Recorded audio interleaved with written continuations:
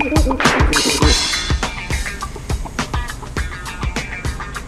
can help you. Uh, yes, I'm here for uh, my last breakfast for a long time.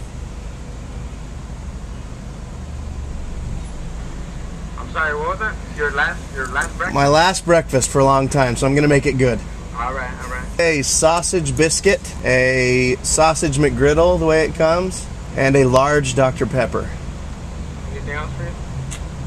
I think that'll do it. That's it? Well, you know what? Sausage biscuit too.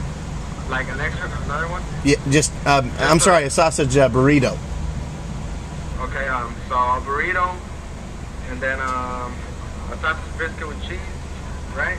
Yep, And a sausage McGriddle the way it comes and a large Dr. Pepper. that's it.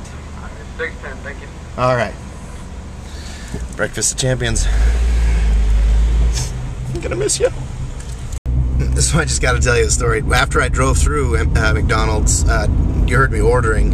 I pulled up to the counter and uh, to pay, and uh, the guy behind the counter is the guy that uh, took my order. And he said, "So it's your last last supper, your last breakfast for a while?" And I said, "Yeah, I'm doing this diet."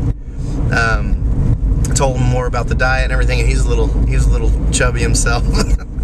um, after I told him about it, he patted his belly a little bit. He's like, "What? You know, is it doctor recommended? Is it something I can do?"